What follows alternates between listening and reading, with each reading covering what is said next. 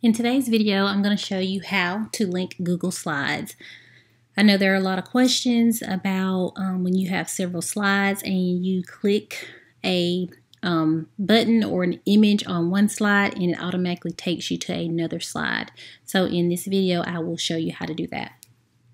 Before we get started, be sure to um, like and subscribe at the bottom of my page if you um, like the video.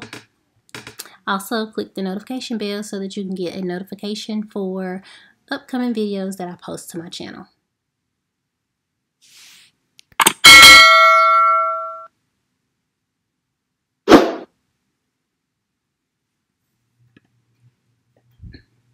Okay, so to show you how to um, link your slide to another slide, I am first going to show you what I am talking about or what your um, intentions probably are when you um, are trying to link your slides. So I'm going to put it in present mode and kind of show you what I already created. Um, and then I'm going to actually show you what to do. So in present mode, my first screen says matching the correct sentence. So when I click down here where it says click here to begin, my slide is automatically going to go to the next slide or my thing is going to automatically go to the next slide. And then when I get to this slide, it says which picture matches the sentence. And it says my ladybug has six black dots. So if I was presenting this to my students, they would read the sentence and then they would click on one of these images. Well, this image right here is going to, if it's, it's, incorrect, so I have it linked to where it is going to make a sound telling them or showing them that it's incorrect. And then when they click the correct one, it will automatically shift them to the next slide. So just say if I'm making a mistake and I click this one, then it makes that. And I have a separate tutorial that I will be doing on how I got that image to make that sound when I clicked on it. And then when I click that, that is what it does.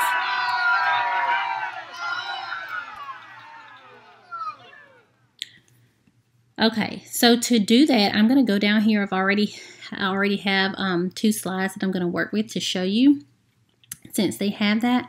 But what I did was I, um, first to get my images, I clicked on insert images and then I searched the web. And when I got to that, I just typed in ladybug cartoon and I had all these different types of ladybugs come up. And then I just picked two of the images that I wanted to add to my slide. So to, um, since this is a slide that has that animated sound, meaning that it's correct, incorrect, this is the one that is correct, which I want to link it to the next slide. So when the students click on it, it will go to that slide. So to do that, I would click over the image itself, and you can either click Command K, or you can click Insert and go down to Link. So I'm going to click Command K. And then this second little screen pops up. Well, right here it says slides in this presentation. I'm going to click on that.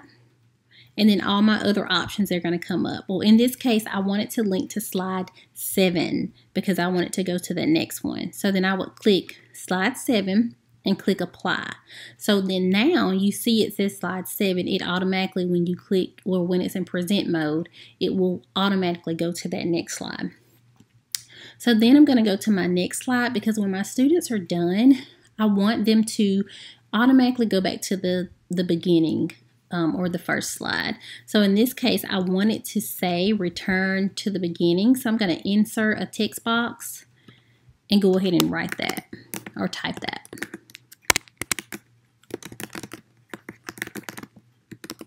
So return to first slide. I'm going to change the color on it and the font. I love Luckiest Guy. It's like my one of my favorite fonts. Okay. And then while I have it highlighted, I am going to do Command K. And then I, in this case, want it to link back to the first slide. And then I'm going to apply it. So then when they click on it, it should link back. And it changed the color, I can just change it back. Click on that and delete that.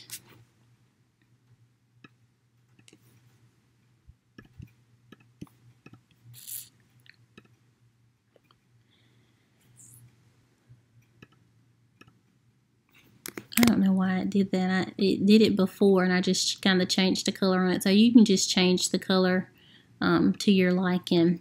So then when I click on it now, it um, it should take the students or whomever back to the first slide. So I'm going to click on this one and then I'm going to go to present mode just to make sure um, or show you exactly what it'll do. Okay, so if I was wrong, it would